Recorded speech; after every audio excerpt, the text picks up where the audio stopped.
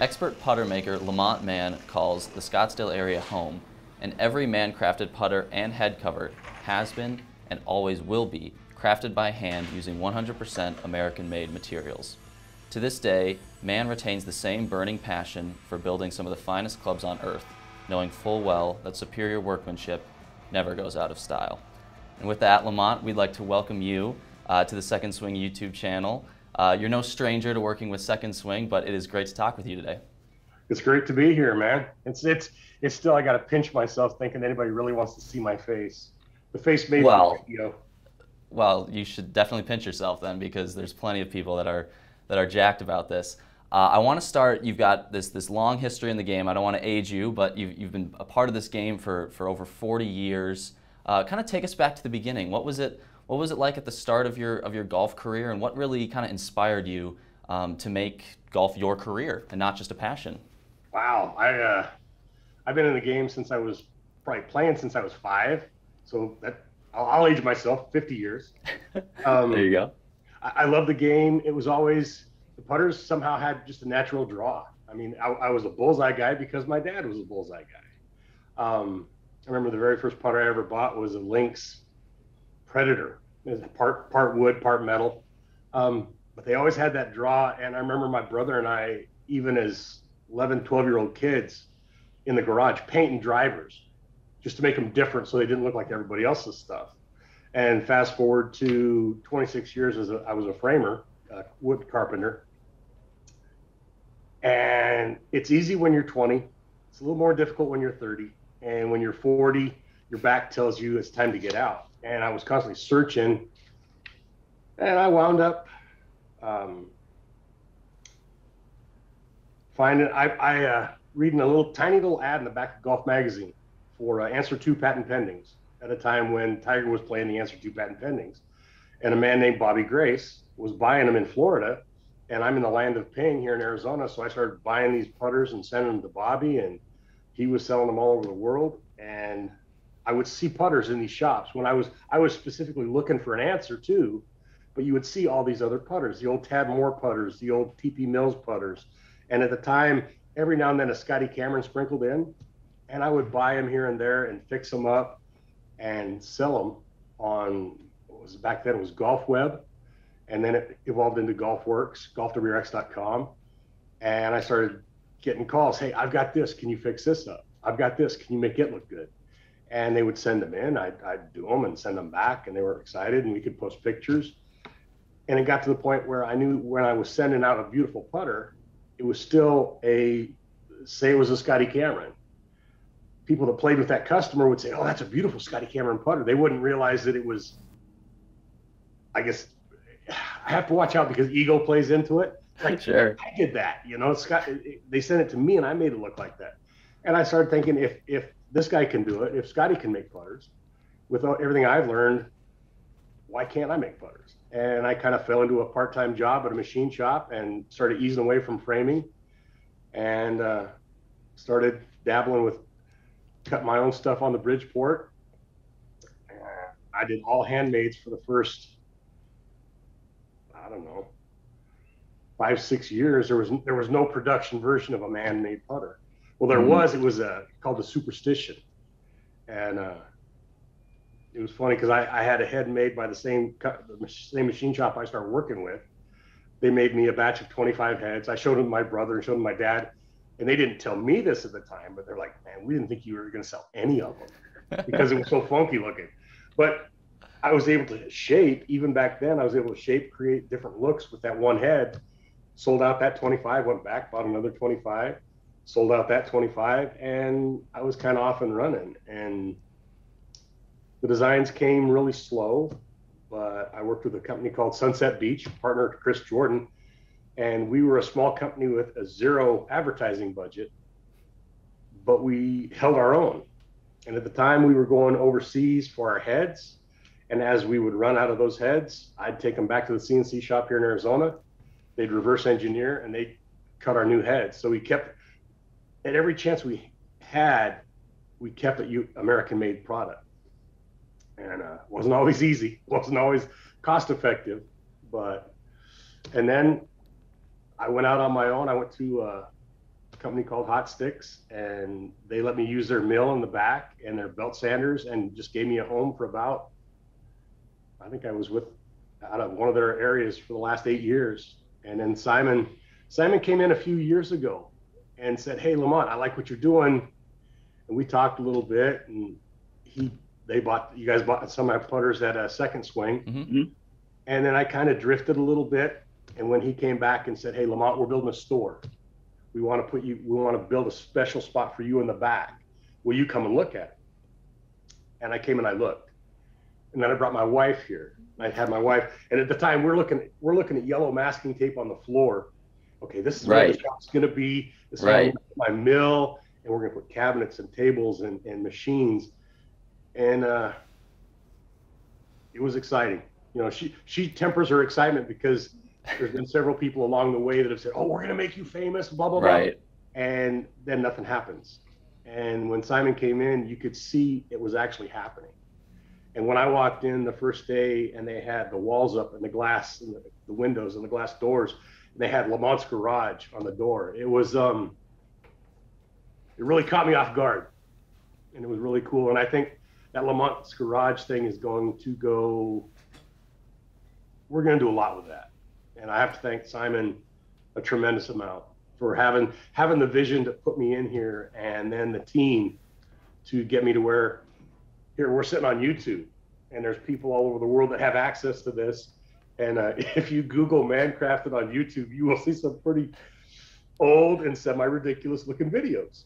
But this one, I mean, I- I'm happy to be here. The team is amazing. Um, it's been it's been a really wild four months. So I'm finally getting. I figured it'd take me about six months to get my feet on the ground and get my head straight. So I'm almost there.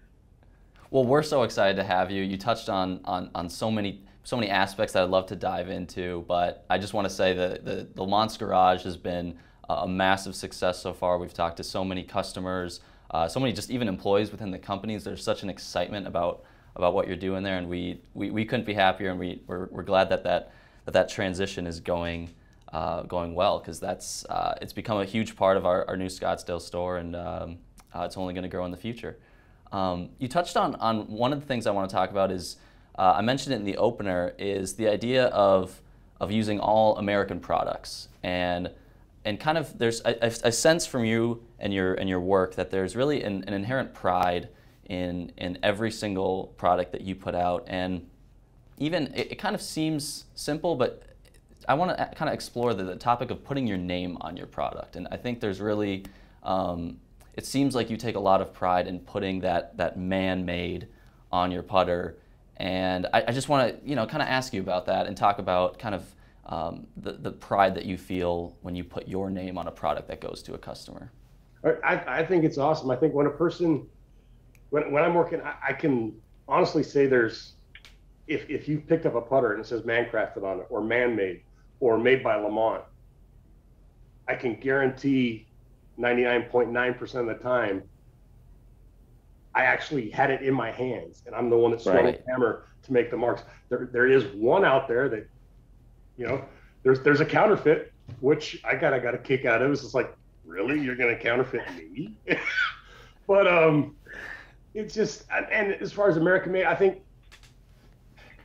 I don't know, it, it almost, I don't want to get political, but I think the American way has always been, we've always been a, a, a country of, we do things, we make things and there has to be that pride in it. And over the last 20 30 years we don't make things and build things we buy things. And so for me to be a part a very small part of contributing back to we're making things here. We're, we're, Mm. we're creating jobs in america. And it's it's it's huge to me. And there's that huge pride of yeah maybe some of the stuff i'm buying as far as raw materials cost more, but it's I, I know it's made here, and um, it's it's a huge amount of pride. Um, I, I've I've gone to my wife and said, "Honey, you know, I can get my head covers made if we order them through this guy. They're going to be one third the cost." And she Right, just right. looks at me and says, "Uh." She goes, "No." She goes, "Don't even think about it." And and she's been a huge part, um, keeping me focused, keeping me watching what I'm doing and uh, keeping me on track. And she's my one of my biggest cheerleaders, as is the rest of my family. They just and it, and it's tough for me because coming from where I did, I was a framer. I, I built houses. Mm-hmm. My wife knew I was a framer, but she didn't really know anything about what I did because there was no interest in it. Um, so being being a putter maker and she gets to see what's out there. She can compare. She can go online and look at my putters compared to this and this and this, and she can see the difference. And uh, that's to me. You always want to. You always want to make those around you proud of what you're doing. And to hear my dad say how proud he is that I've stuck with it, and it's been it's been really good. I uh, wouldn't change a thing. It's ah, you know, I'd change a couple things. Everybody does. There's always a couple things. Yeah, but I think with the Lamont's Garage thing, there again, American made, and I just I just submitted my first um, art for the T-shirts for the first Lamont's Garage T-shirts. Perfect. It, um, it's it's when when you, when you get that that uh, artist rendering back, dude, this could be. I want them today. You know, I don't want them two weeks from now. I don't want them. I want them now. Um, but I think guys guys that get that theme. Somebody the other day sent me a text. He goes, Lamont, he goes, Lamont's garage fits you so much better than a studio. He goes, right. not a studio guy. He says, You're a garage guy. And I had never thought of it. And uh, this that's one of the things that your team came up with, Lamont's Garage. I didn't have any input in that. I mean, I walked up, and that was the first time I'd heard Lamont's Garage. Was when I saw it on my door. I'm like, going, dude, that's cool. You know, so. Right. No, it's so it's so interesting because it seems like golf clubs. One thing I'm so interested in in them. One of the big reasons is that it's it's kind of the ultimate meeting between kind of art and engineering. And uh, while your putters have an incredible, they're incredibly elegant and they have these these great aesthetics. I, I get the sense that you are a man who, at the end of the day, is falls more on that kind of engineering side. Um, I, am kind of I would love to dive into kind of the, the beginning of your career and how you think all those years as a framer and it just seems like pretty much your entire life you've done things with your hands. And I'm curious how, even though you, you know, you may not have thought it at the time, kind of how those formative years ended up kind of benefiting you in the golf space. Uh, the, the first thing that comes to mind is the, the ability to stamp. You know, okay. when you're a framer and you're swinging a hammer eight, 10 hours a day at, at, a, at the head of a nail, um, you put a hand stamp in my hand. It's just like most of them are bigger than the head of a nail. So it's nothing for me to set a stamp and, and, and really give it a good whack. Mm-hmm. Um, but as far as working with my hands, it was something that even I can go back to eight, nine, ten years old. My grandparents had a ranch in uh, outside of Wilsall, Montana, and the garage was right below the house, and it was basically an old cabin that had broken windows and floppy doors. But that's where Grandpa kept all of his machines, the, the bench grinders and the the uh, table saws and stuff like that. And I would go down there and I would spend hours in his shop just going through drawers that had rusty old tools in them and cleaning off all the rust and crying just just stuff when I look back I hadn't I just like making stuff look good and or look new again. And grandpa didn't care because he he knew when I put it back in the drawer 6 months from now it was going to be rusty again I'd have another project. And it kept it kept me busy kept me out of his hair. But um, it's uh, I you're right. I never really paid attention to the fact that I was doing things with my hands, and I was creating things. And I always loved when you would frame a house. We would pull on the job site five o'clock in the morning, and there's nothing but a slab. And when we leave at two o'clock that afternoon, it's a house. I mean, there, there's still work to be done, but it's the walls are all up and the trusses are rolled and there's that there's that pride in workmanship. It's that pride that you, is kind of dormant in a lot of people today. The pride of mm-hmm. workmanship. Um, so this is my way of being able to say, you know, when I, when something goes out, this is the best I can do, and they may not see it, they may see it, but um,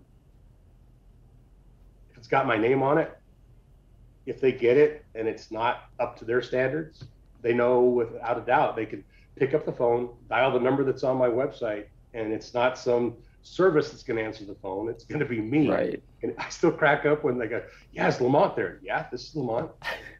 oh, right. I didn't think I was going to get to talk to you. And I'm like, well, you know, if you dial that number, there's only one guy going to pick it up. If there's somebody else picking it up, it's a bad thing. So, but Right. We're so conditioned to getting transferred from one department to another. It's it's really that's one of the things that's so cool is especially in in the store especially is you see Lamont's garage. Well, you look inside. There's Lamont. It's it's uh, it's I mean, you know there's no no false advertising. Yeah, it was like the second or third week.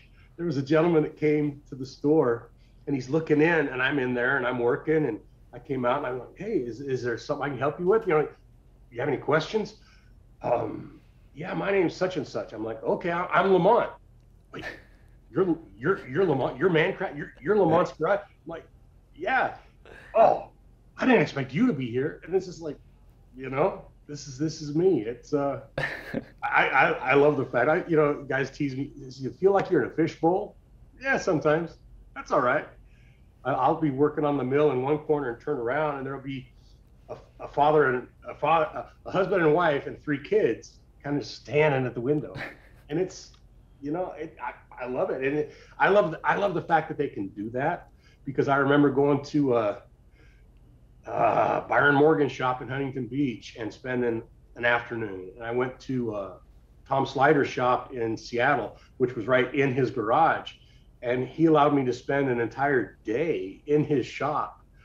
And I remember how cool that was for me. That was before I was making putters. I was still just just refinishing.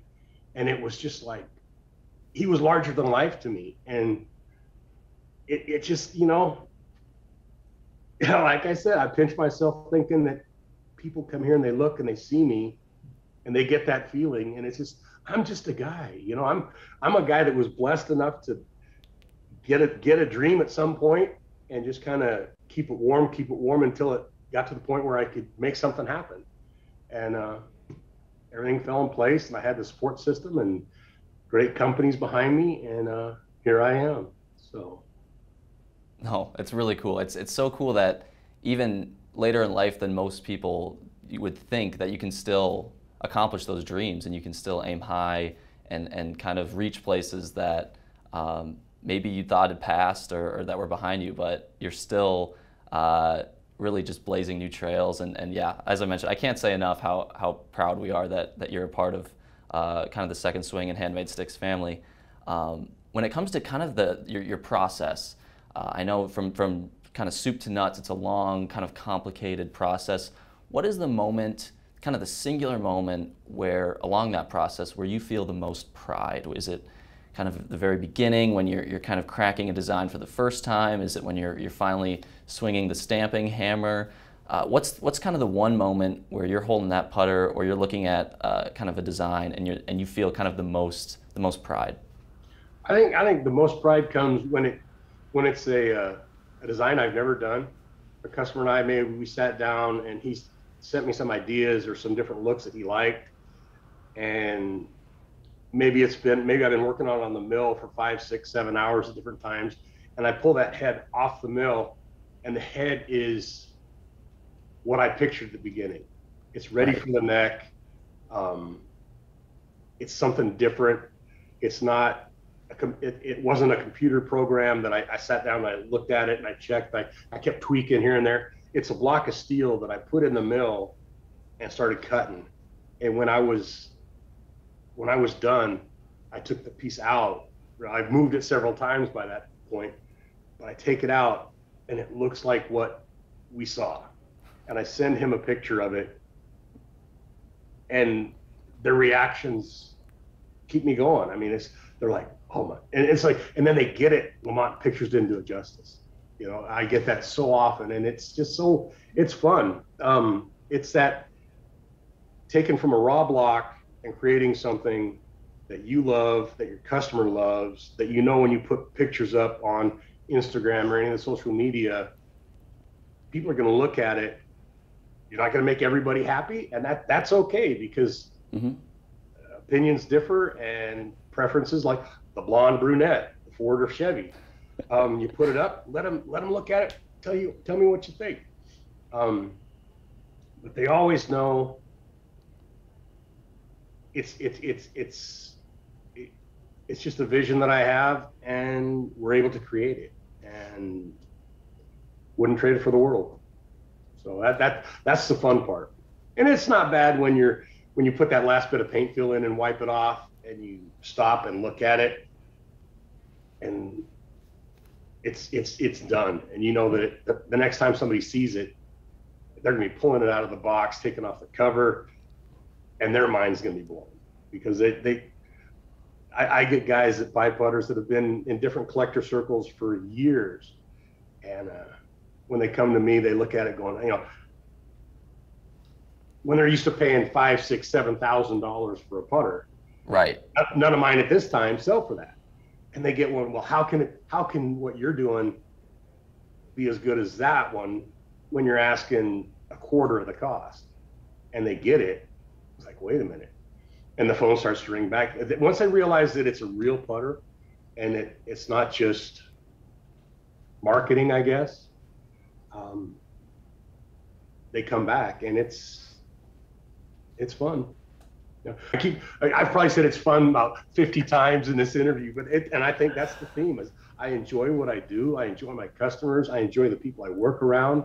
Um, it's been a wild ride, and it's it's got some good stuff coming.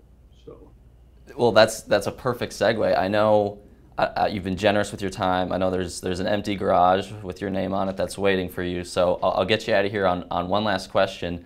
Uh, kind of what's what's next? I mean, clearly uh, you're not slowing down at all, especially uh, given your new work arrangements. Um, kind of where do you see, you know, roughly, you know, three five years? What does what does MannKrafted look like? that that's that's on, honestly it's a tough one. I think it, it, it looks like designs that are in process now are ideas that I've had over the last five six years that I've gotten to the point where I've got the putters that every I've got the putters that fit mainstream, and now I can do something that while I keep doing the mainstream putters, I've got ideas that have to you know might catch on and you'll see different materials being used, um, some different looks, uh, head covers. I'm excited to get back into head covers. Um, I never wanted to be the trinket guy making little things here and there, but when somebody wants to support MannKraft or man-made, mm-hmm. and they don't have five, six, seven hundred dollars to buy a putter, but they can buy a head cover for seventy-five bucks and get a piece of my art. Uh, that sounds weird to even say a piece of my art. Yeah. Um, you can, you say, say, it. You can say it. Something that I've had input into or I've had creative influence in and still have a piece of my work. The head covers, we did uh, the sugar skulls for the last six years. And then the company that made all of my premium head covers got purchased by a competitor and so we no longer have that avenue and it's just like all these ideas that i had are kind of like drew a line and from from that point back they're gone um, so now it's a matter of getting new ideas and a new head cover company. Head covers are going to be big. We're going to do a little bit more in the soft goods the t-shirts hats just guys it's just the periphery is going to be mm-hmm. fun but you're also going to see new, new designs. And the new designs that's what gets me excited is when you're doing stuff that you put it out there and there's nothing like it. And there's a, there's a couple of them that make me chuckle but you know for the most part everything is functional. And with the influences i've had and the friends i've gotten in the business you've got guys like like another one of the Handmade Stix guys tad moore. I mean mm-hmm. he's he's somebody that i call a friend that 25 years ago, if you'd have told me I would even ever get to talk to him, oh no, you know, he's he's he's bigger. He was larger than life with Max Maxfli, and now it's just like it's a regular thing when my phone goes off. Oh, Tad sent me a message. Cool, and I, you get to talk to Tad. You get to hear the stories and how things have evolved, and get his opinion. And he's been so good and so supportive and so influential. And he, he said something to me one day. He says, he said, Lamont, he said, no matter what happens, he goes, everything, everything changes. He goes, no matter what happens business wise, he says, they can't take away what you do. He goes, they can take away everything around you. He goes, but you, what you do is different. He goes, nobody can take that from you. And it's just like, that's the one that sits in the back of my head. You know, you have a bad day, you think, oh, you know, I didn't, th- this didn't go right, this didn't go right. I need to file this paperwork. I, okay, they can't take away what I do. And it's, that's, that's the fun part. And the really cool part is everything that's been done in the last few months has been to support everything that I do and just to make that stronger and to put people around me that know more than me about stuff that I don't know anything about, which there's plenty of that in this world. But now I have people that I can reach out to and ask and keep me kind of on the straight and narrow. And uh, yeah, but as far as future goes, five years from now, I, I can't even say I'll be 60. Everybody says, yeah, but you can retire at 65. And there's another one you know, retirement's not an age; it's a number, right? So it's uh, exactly. Uh, we'll see. We'll see. It's uh, I see really good things coming, and I've got the the support system in place where I don't think it's like 20, you know, even 10 years ago, I didn't dare to dream as big as it is now, and here I am. And to think of where it's possible to be in another five years, I'm just gonna let it roll. I'm just gonna keep, keep doing what I'm doing and hopefully moving forward. And with you guys behind me and the awesome team that's here in Scottsdale. This, by the way, for the people who are watching this, if you're in Arizona, Phoenix, and you haven't been into the second swing in Scottsdale, you have not seen the most incredible golf shop I've ever been in. I mean, I've, I've been around the game, like I said, since I was five, and I have never seen a facility like this. I mean, and I'm a club junkie. And I walk in here and I start to twitch. You know, it's just like I see clubs, I see irons and putters and wedges, and it's just like I'm a reforming club junkie. Well, Lamont, you said you said that, that no one can take away what you do, but clearly someone can take away what I do because you just marketed the store better than I ever could. Uh, thank you for sitting down with us. Thank you for taking the time um, to not only you know share your insight, but also just kind of share your work with the whole Second Swing and Handmade Stix family. Lamont, thanks again for your time. If you would like to see a MannKrafted product, just check out secondswing.com or as Lamont mentioned, visit the Scottsdale store and, uh, and see what he has to offer. Um, Lamont, thank you so much for your time and uh, have a great rest of your day. Thank you. You too. Take care.